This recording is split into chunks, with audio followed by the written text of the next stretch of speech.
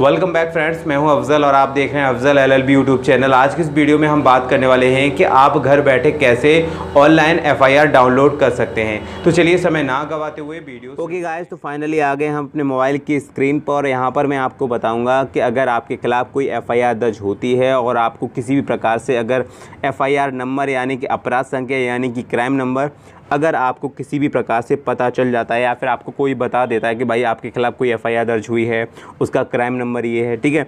तो यहाँ पर अगर आपको एफ़आईआर नंबर यानी कि अपराध संख्या पता है तो उस कंडीशन में आप कैसे एफ़आईआर ऑनलाइन तरीके से डाउनलोड कर सकते हैं। तो यहाँ पर आप देख रहे होंगे, मेरे पास दो ऐप हैं। पहला है ई कोर्ट सर्विस, ठीक है? और दूसरा है यूपी कॉप, जो कि पुलिस प्रशासन का है। और जो पहला वाला है ई सर्विस कोड ये न्यायिक है, ठीक है ना? ये कोर्ट का है। तो यहाँ पर आपको दो ऐप की ज़रूरत पड़ेगी जो कि प्ले स्टोर से मिल जाएँगे। मैं भी इसका डिस्क्रिप्शन में दे दूँगा लिंक, वहाँ से भी आप इसे डाउनलोड कर सकते हैं।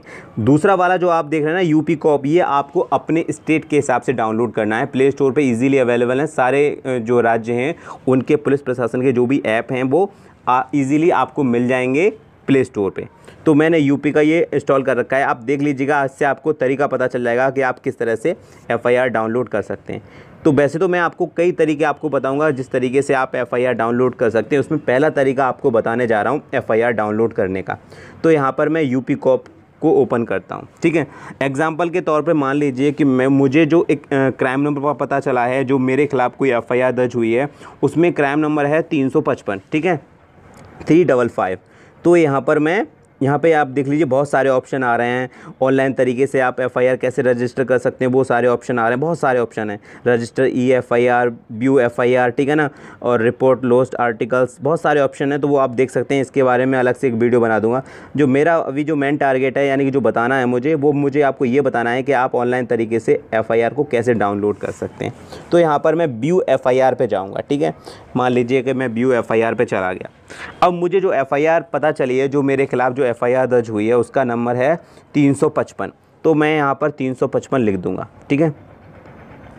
355 उसके बाद किस सन में हुई आई I मीन mean, जो सन चल रही है सॉरी यहाँ पर लिखा हुआ है सिलेक्ट डिस्ट्रिक्ट तो यहाँ पर मैं डिस्ट्रिक्ट सेलेक्ट कर दूँगा। तो जो भी डिस्ट्रिक्ट है उस जिस डिस्ट्रिक्ट में एफआईआर दर्ज हुई है उस डिस्ट्रिक्ट का नाम मैं यहाँ पर ऐड कर दूँ। उसके बाद पुलिस स्टेशन यानी कि किस पुलिस स्टेशन में एफआईआर दर्ज हुई है ठीक है?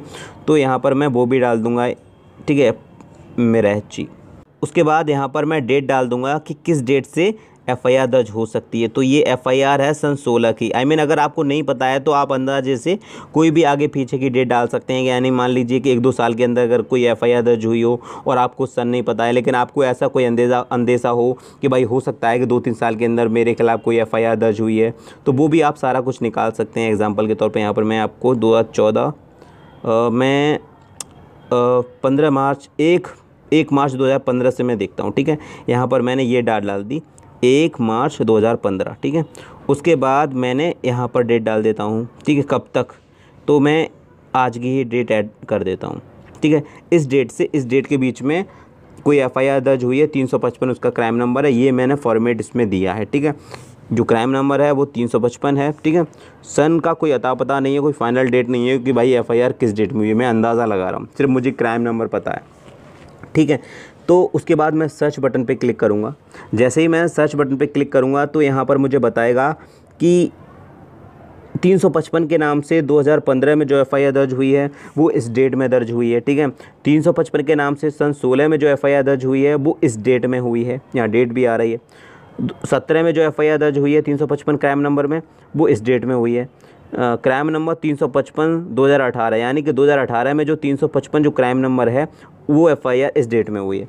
अब एग्जांपल के तौर पे अगर मुझे नहीं पता है कि भाई एफआईआर कब दर्ज हुई है तो मुझे ये चारों ओपन करके देखने पड़ेंगे। लेकिन मुझे बाद में अंदाज़ा हो जाता है या फिर मैं चारों को पढ़ के देख लेता हूँ, बाद में मुझे जो भी लगती है कि भाई ये वाली एफआईआर जो दर्ज हुई है, वो मेरे से रिलेटेड है। तो यहाँ पर एग्जांपल के तौर पर मान लीजिए कि मैंने ये चारों एफआईआर पढ़ ली, ठीक है?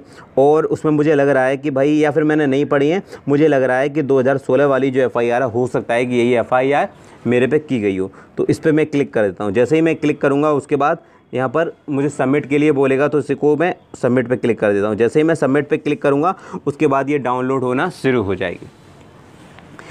ये यहाँ पे लिखा हुआ है कि एफआईआर डाउनलोड हो चुकी है सक्सेसफुली तो मैं इसे ओपन कर लेता हूँ, ठीक है? ओके किया। ओके के बाद इस पर क्लिक किया और ये ओपन हो जाएगी इस तरह से, ठीक है? पीडीएफ रीडर में। यहाँ पर आप देख लीजिएगा, पूरी एफआईआर डाउनलोड हो चुकी है। आप देख लीजिए क्राइम नंबर यहाँ पर कोई भी एफआईआर हो, अगर आप पहले से आप एफआईआर रखते हैं तो आप उसको भी यूज़ करके देख सकते हैं। यहाँ पे देखो एफआईआर नंबर यहाँ लिखा हुआ है। एक मिनट में आपको एफआईआर नंबर दिखा देता हूँ ताकि आप समझ लें। यहाँ पर देख लीजिएगा एफआईआर नंबर तीन सौ पचपन लिखा हुआ है।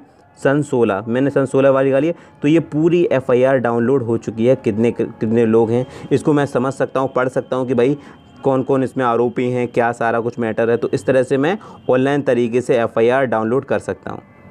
आशा करता हूँ ये वीडियो आपको पसंद आया होगा। अगर फिर भी कोई कन्फ्यूज़न है तो आप मुझे कमेंट बॉक्स में लिख सकते हैं। चलिए, मिलता हूँ एक नई वीडियो के साथ। तब तक के लिए